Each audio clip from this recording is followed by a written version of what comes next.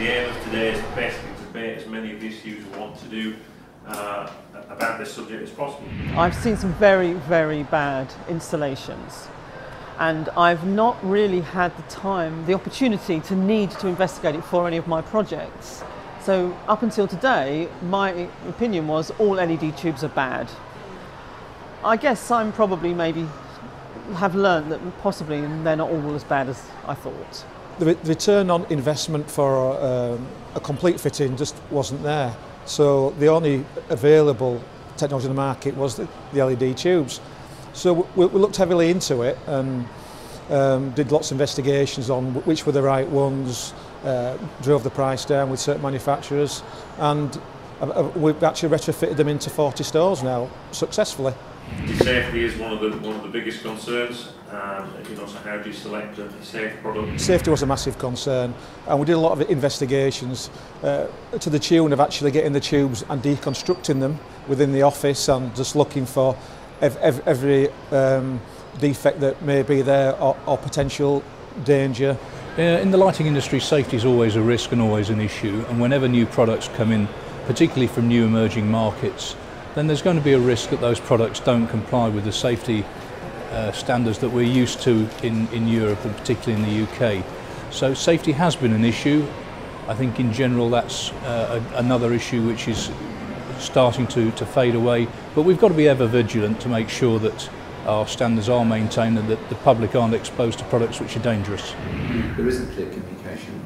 You and the majors are trying to keep the standards up. I absolutely agree with that.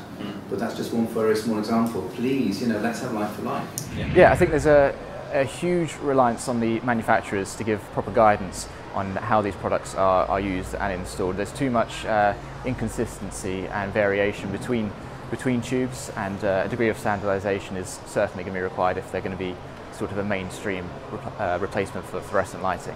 You know, we're starting to see more and more applications. So this seems to be a one that the, uh, the, supermarkets and the retailers viable ones. We know that cold storage uh, was one of the early one of the early adopters. The ideal application for LED tubes is where there is no money for capital investment in renewing the luminaires themselves and where there is a good case to be made for energy reduction or more importantly maintenance reduction.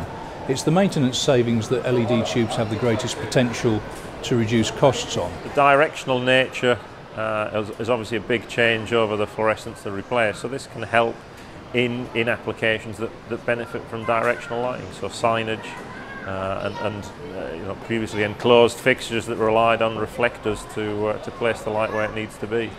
LED tubes as they are today would be best suited to cold storage applications, um, also um, warehouse applications where the light must be directed immediately, immediately downwards, but also um, uh, car parks. Car parks is a, is a great example of where to use LED tubes, um, especially in weatherproof fittings, absolutely perfect.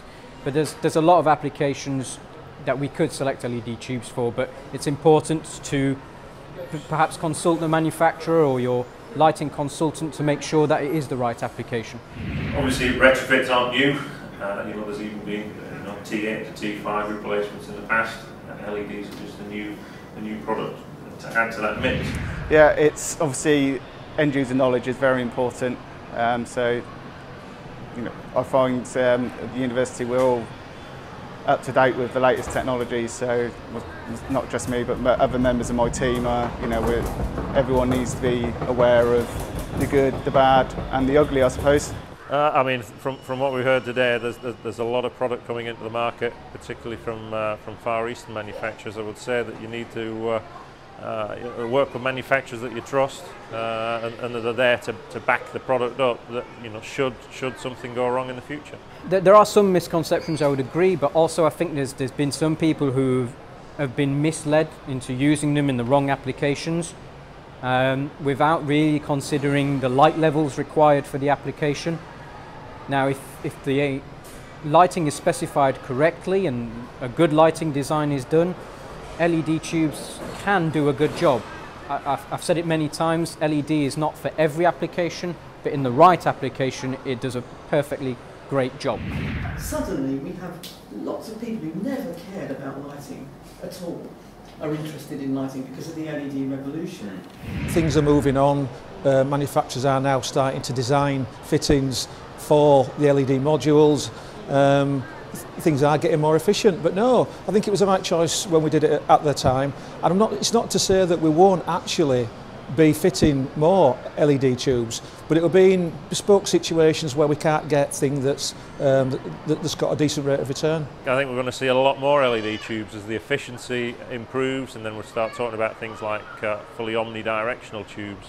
Then the application space is going to uh, is going to increase.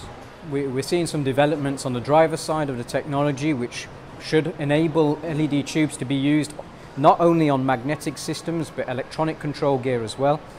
Once that is um, tackled, it opens up the scope for the LED tube to new applications such as indoor lighting in offices, but also if we can tackle the omnidirectional aspect of, of the light output, it'll open up the scope for LED tubes. An appealing side of it is this ability to remove just one component part of it and to upgrade it or replace it.